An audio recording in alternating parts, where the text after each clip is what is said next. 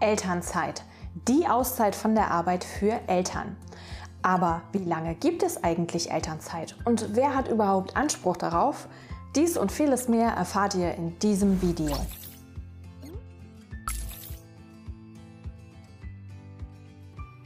Hi, ich bin Yvonne, Elterngeldexpertin und Steuerfachwirtin bei elterngeld.de. Was ist Elternzeit?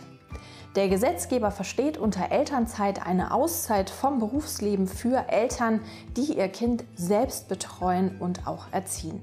Dabei ist eine Unterstützung natürlich von Großeltern, einem Au-pair oder auch einer Tagesmutter möglich.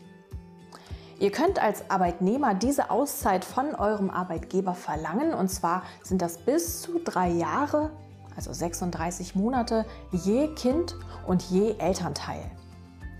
Wenn ihr jetzt in der Elternzeit nicht arbeitet, dann bekommt ihr auch kein Gehalt. Als Ersatz dafür könnt ihr aber das Elterngeld beantragen. Voraussetzungen für die Elternzeit. Ihr seid Arbeitnehmerin oder Arbeitnehmer und dabei zählt auch jedes Arbeitsverhältnis, also ein Teilzeitarbeitsverhältnis genauso wie ein befristeter Vertrag, ein Minijob oder wenn ihr in einem Ausbildungsverhältnis steht. Wichtig ist, dass dieser Arbeitsvertrag nach deutschem Recht geschlossen wurde. Es spielt dabei keine Rolle, ob ihr in Deutschland lebt für die Elternzeit. Die weiteren Voraussetzungen sind, ihr betreut und erzieht euer Kind selbst, ihr lebt mit eurem Kind in einem gemeinsamen Haushalt und ihr seid entweder nicht oder maximal 32 Stunden pro Woche erwerbstätig.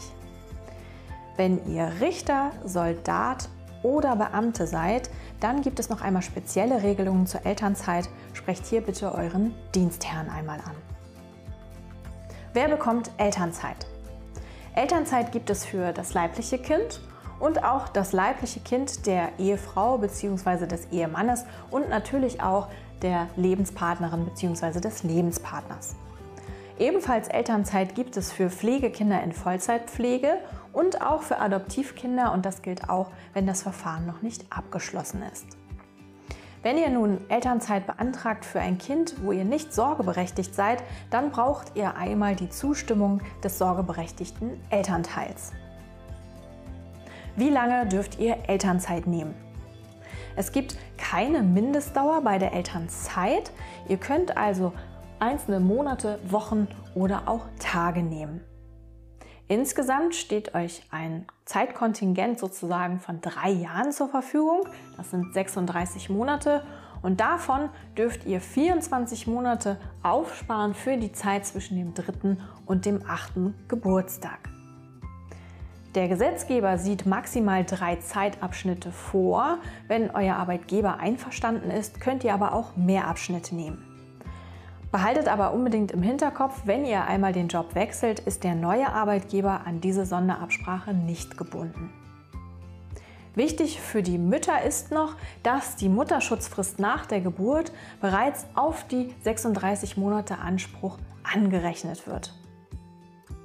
Wie beantragt ihr Elternzeit? Hier sind zwei Dinge besonders wichtig. Und zwar erstens, der Antrag muss schriftlich eingereicht werden und zweitens, ihr müsst bestimmte Fristen einhalten. Beginnen wir mit erstens, was meine ich mit schriftlich? Schriftlich heißt tatsächlich, ihr schreibt einen klassischen Brief. Und den sendet ihr dann nicht eingescannt per E-Mail oder gar als Fax, denn auf diese Weise gilt der Antrag nicht als rechtssicher gestellt. Ihr verfasst also einen Brief, in dem ihr reinschreibt, wann ihr eure Elternzeit beginnen möchtet und wie lange diese dauern soll. Und dann gebt ihr diesen Brief persönlich ab und lasst euch am besten den Eingang dort auf einer Kopie bestätigen. Oder wenn ihr ihn nicht persönlich abgeben möchtet, dann sendet ihr ein Einschreiben. Nur auf diese Weise bekommt ihr den Zugangsnachweis beim Arbeitgeber und der kann im Streitfall einmal sehr wichtig sein. Kommen wir zu den Fristen. Und zwar vor dem dritten Geburtstag müsst ihr euren Antrag spätestens sieben Wochen vorher einreichen beim Arbeitgeber. Und ab dem dritten Geburtstag müsst ihr den Antrag spätestens 13 Wochen vor dem gewünschten Beginn einreichen. Und dann gibt es natürlich noch eine Ausnahme und zwar für die Zeit vor dem dritten Geburtstag, wenn ihr sechs Wochen vor dem dritten Geburtstag eure Elternzeit beginnen möchtet, dann gilt auch schon die längere Frist von 13 Wochen. Arbeiten während der Elternzeit. Wenn ihr mögt, dürft ihr auch in eurer Elternzeit bis zu 32 Stunden in Teilzeit arbeiten. Aber Achtung, wenn ihr auch noch gleichzeitig das Elterngeld bezieht, denn jeder Hinzuverdienst wird auf euer Elterngeld angerechnet und kann in der Folge zu einer Kürzung führen. Wenn ihr also gleichzeitig arbeiten und Elterngeld beziehen möchtet in Elternzeit, dann empfiehlt es sich, das Elterngeld Plus zu wählen. Natürlich gibt es auch ein paar Voraussetzungen, die erfüllt sein müssen, um überhaupt in Teilzeit arbeiten zu können. Und zwar müsst ihr länger als sechs Monate in dem Betrieb beschäftigt sein und der Betrieb hat mehr als 15 Beschäftigte. Weiterhin sollte euer Arbeitsplatz auch Teilzeit geeignet sein. Wenn diese Voraussetzungen auf euch jetzt nicht zutreffen, dann nicht gleich verzagen, sondern sprecht euren Arbeitgeber einmal an. Denn viele Arbeitgeber sind wirklich froh, wenn sie nicht die komplette Elternzeit auf ihre Mitarbeiter verzichten müssen. Für den Antrag auf Teilzeitarbeit gelten die gleichen Antragsfristen wie auch schon bei der Elternzeit. Und zwar vor dem dritten Geburtstag sind es sieben Wochen vor dem gewünschten Beginn und ab dem dritten Geburtstag sind es 13 Wochen vor dem gewünschten Beginn. Auch hier gilt die Ausnahme mit den sechs Wochen vor dem dritten Geburtstag mit der längeren Frist von den 13 Wochen. Euer Arbeitgeber hat nach dem Einreichen eures Teilzeitantrags, und es bezieht sich wirklich lediglich auf den Teilzeitantrag in diesem Fall, vier Wochen Zeit zu widersprechen. Hört ihr in diesen vier Wochen nichts von eurem Arbeitgeber, gilt die Teilzeitarbeit als genehmigt. Kündigungsschutz in der Elternzeit. Beginnen wir einmal mit den Müttern und zwar ab Beginn der Schwangerschaft bis zum Ablauf von vier Monaten nach der Geburt ist eine Kündigung bis auf wenige Ausnahmen unzulässig. Wenn ihr als Mutter direkt nach der Geburt Elternzeit nehmt, dann verlängert sich dieser Kündigungsschutz noch einmal um die Dauer der angemeldeten Elternzeit. Nach der Elternzeit seid ihr dann ganz regulär nach gesetzlichen Bestimmungen oder euren vertraglichen Regelungen kündbar. Ganz anders ist es bei den Vätern bzw. dem anderen Elternteil, denn der Kündigungsschutz beginnt hier erst eine Woche vor dem Fristablauf. Was bedeutet das genau? Also, für die Zeit vor dem dritten Geburtstag müsst ihr eure Elternzeit ja spätestens sieben Wochen vor dem gewünschten Beginn beantragen. Eine Woche vorher beginnt jetzt euer Kündigungsschutz. Das heißt, vor dem dritten Geburtstag reicht ihr frühestens acht Wochen vorher, vor dem gewünschten Beginn, euren Elternzeitantrag ein. Bei den Zeiten ab dem dritten Geburtstag waren es ja 13 Wochen vor dem gewünschten Beginn spätestens. Das heißt, euer Kündigungsschutz beginnt frühestens 14 Wochen vor dem gewünschten Beginn. Was passiert in der Elternzeit, wenn noch ein Geschwisterkind kommt? Die laufende Elternzeit wird durch die neue Schwangerschaft nicht unterbrochen, aber als werdende Mama könnt ihr diese bestehende Elternzeit vorzeitig beenden und zwar zum Tag, bevor der neue Mutterschutz beginnt. Das hat einen ganz wesentlichen Vorteil, denn auf diese Weise habt ihr wieder Anspruch auf den Arbeitgeberzuschuss zum Mutterschaftsgeld. Das kann sich richtig lohnen.